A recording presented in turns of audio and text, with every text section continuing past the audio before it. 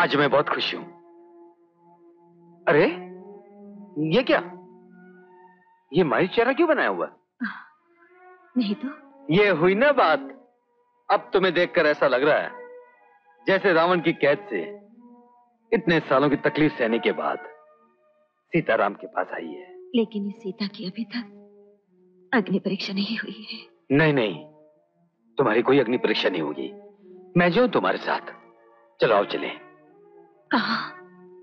अरे आओ तो सही बताता हूँ चलो। छोटे कहा तुम लोग? अभी बताती हूँ। दादाजी दादाजी छोटे छोटे दादी माँ तुम तो मेरी पकड़ में आ जाओ। छोटे। तुम क्यों जा रही हो बेबी अरे कहा तुम लोग? छोटे। मैं तेरे पीछे हूँ दादी माँ।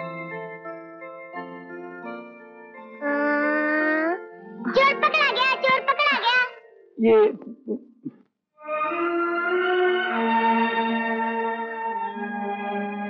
बड़े ये नई लड़की कौन है? ज्योति ऐसा नहीं शारदा ये है मेरी माँ मेरे पिताजी। नमस्ते। जीतिया हो? और ये है मेरा छोटा भाई सुनील। नमस्ते। नमस्ते। और ये है क्या मैं बताती हूँ। मेरा नाम ज्योति है गांधी स्कूल में पढ़ती हूँ इस घर की बड़ी हूँ। इस घर का सारा कारोबार मैं चलाती हूँ बहुत बड़ी बड़ी बातें करती है।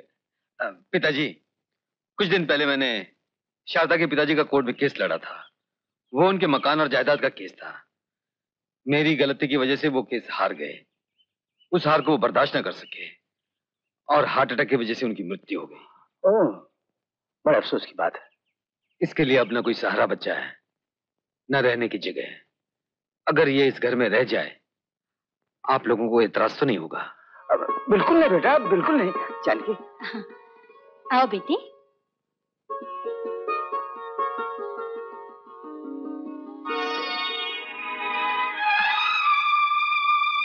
तुमने अपने माता पिता से मेरे लिए झूठ बोलकर अच्छा नहीं किया।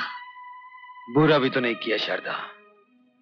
अगर उन्हें यह पता चल जाता कि तुम जेल से सजा भुगत कर आई हो तो शायद उनकी नज़रों में तुम्हारे लिए वो इज़्ज़त वो प्यार वो हमदर्दी नहीं होती जो अब है। लेकिन छोट की उम्र ज़्यादा नहीं होती रवि। जिस दिन उन्हें मेरी असलियत का पता चलेगा उस दिन क्या होगा? अरे जब वो दिन आएगा तब देख लेंगे। उसके लिए अभी से परेशान होने की क्या ज़रूरत है? वैसे भी तुम जेल में काफ़ी परेशानी उठा चुकी हो। यहाँ भी अपनी जान को क्यों हल्कान कर रही हो? देखो देखो देखो। अपने दिमाग से सब परेशानियों को झटक दो और चैन की ज़िंदगी गुजारो। चलो अब मुस्कुरा दो। अरे मुस्कुराओ भी। Come on come on come on give me a good smile अब मैं समझ गई। मेरा शक सच निकला। कैसा शक? बताती हूँ बताती हूँ। हटो। ए नहीं लड़की तू बड़े के इतने पास क्यों खड़ी थी? हाँ? मामला क्या है? वो सवाल मैं पूछ रही हूँ। तुम उनकी तरफ़ क्या देख रही हो? मेरी तरफ़ देखो। बात यह है कि बस बस सफ़ाई मत पेश करो। बड़े तुम मुझे कहानी सुनाए बगैर यहाँ कैसे चले आए? वो हुआ ये था कि कोई बात नहीं कोई बात नहीं माफ़ किया। थैंक यू आज ये नई लड़की मुझे कहानी सुनाएगी। क्यों सुनाओगी ना? हाँ सुनाऊँगी। आओ। तुम जाओ जा जाओ अच्छा अच्छा।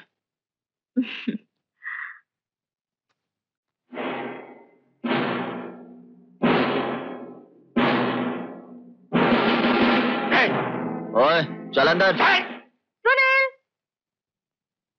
क्या बात है? मुझे तुमसे बहुत ज़रूरी बात करनी है। आओ चलो ना। हाँ क्या बात है?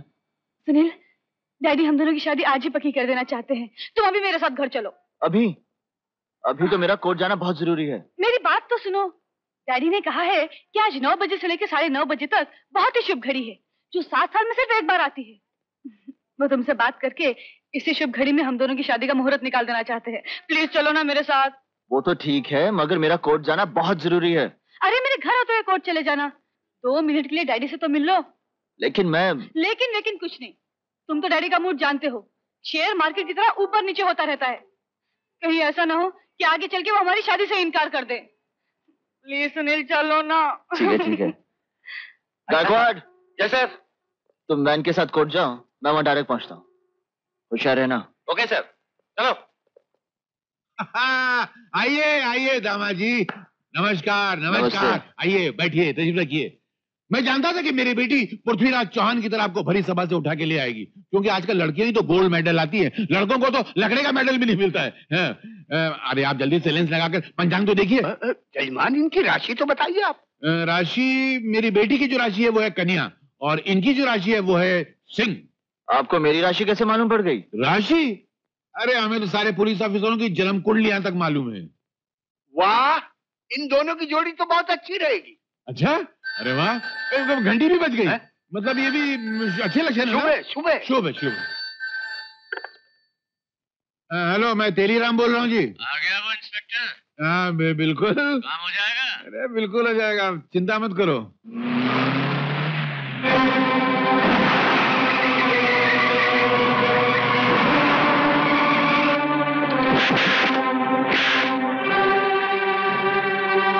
पंडित जी जी। जरा ये पंचांग एक बार फिर से देखिए तो। इन दोनों की जोड़ी अच्छी नहीं रहेगी क्योंकि सिंह राशि में राहु घुस गया है। लेकिन अभी थोड़ी देर पहले तो सब ठीक था। हाँ तो तब तक राहु बीच में नहीं घुसा था ना। अभी घुस गया तो गड़बड़ हो गई। ये मैं चलता हूँ हाँ? नमस्ते। अच्छा जी। इंस्पेक्टर साहब आपका फ़ोन है। मेरा? हाँ, आपका है। सुन तो लीजिए कि राहु किस घर में घुसा है। हेलो इंस्पेक्टर सुनी लिया तेजा को गुंडे किडनैप करके ले गए। क्या?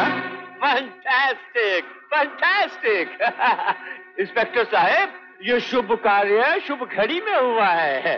सवा नौ और साढ़े नौ के बीच में हाँ।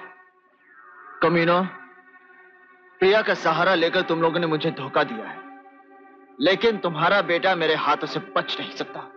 अरे रुक जाओ इंस्पेक्टर रुक जाओ। तुम तो वाकई बड़े बेवकूफ़ आदमी हो हाँ?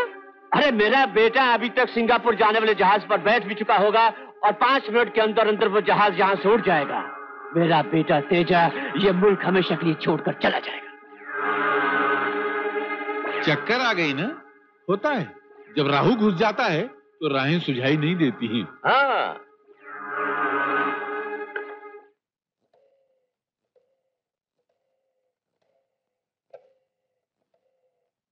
hello connect me to the airport manager please airport manager speaking देखिए जो जहाज़ सिंगापुर जाने वाला है उसमें बॉम्ब रखा है। क्या? Yes yes. आप कौन बोल रहे हैं? मैं इस शहर का मेयर बोल रहा हूँ।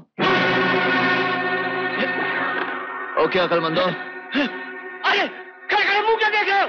जाओ लोगों से। एयरपोर्ट तक पहुँच के पाए जाओ। एयर इंडिया को ये सूचित करते हुए खेद है कि उनकी उड़ान नंबर ए आई एक शून्य पाँच अब सिंगापुर दो घंटे देर से जाएगी।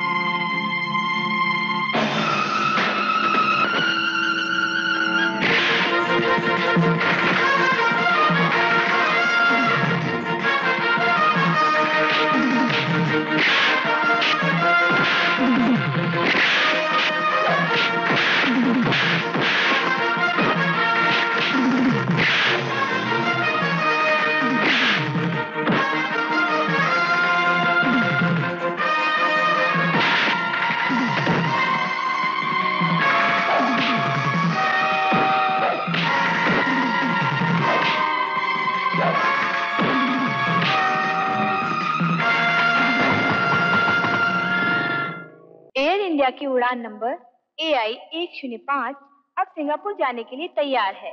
यात्रियों से निवेदन है कि वो इमिग्रेशन और कस्टम कक्ष की ओर पधारें।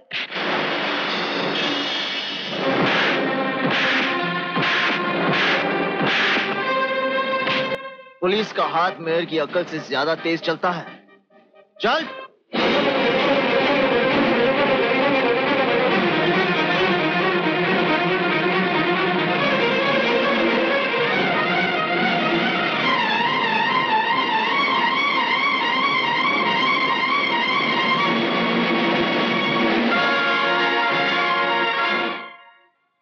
सारे गवाहों और सबूतों की रोशनी में अदालत इस नतीजे पर पहुँची है कि मुलजिम तेजा ने न सिर्फ़ सुशीला की इज़्ज़त लूटनी चाहिए, बल्कि ऐसे हालात पैदा कर दिए कि उसके पास सिवाय खुदकुशी के और कोई चारा बाकी नहीं रहा। लिहाजा अदालत मुलजिम तेजा को सुशीला की मौत का जिम्मेदार ठहराते हुए उम्र कैद बा मुशक्कत की सजा देती है। इसके साथ यह भी साबित हो चुका है कि किशन चंद ने मेयर जैसे जिम्मेदार ओहदे पर रहने के बावजूद एक मुजरिम को बचाने की कोशिश की। अपने ओहदे और पावर का गलत इस्तेमाल किया। कानून की रखवाली करना जिसका फ़र्ज़ हो, अगर वही कानून को तोड़े तो उसे ओहदे पर बने रहने का कोई हक नहीं। लिहाजा अदालत मिस्टर किशन चंद को मेयर के ओहदे से हटाने का हुक्म देती है।